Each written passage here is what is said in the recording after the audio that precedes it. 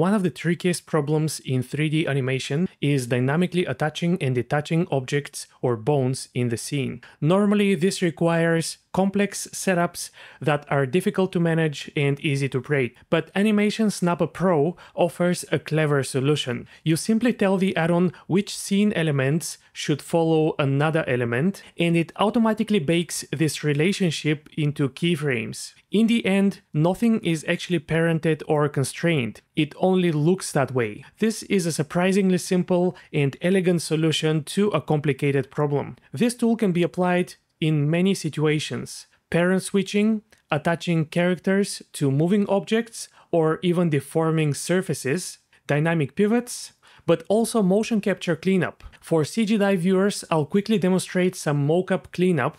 A common problem with mocap is sliding feet.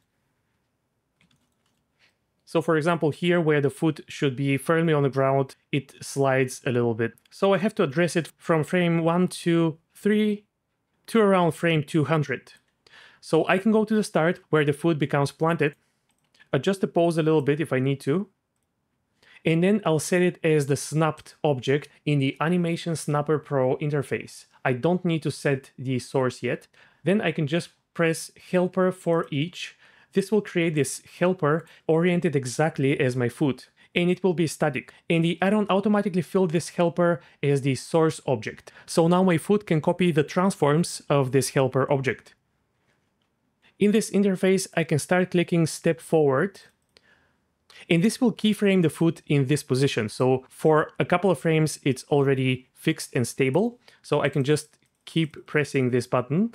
But instead, I can also batch bake it. So I'm going to bake from one, two, three, and up to frame 200.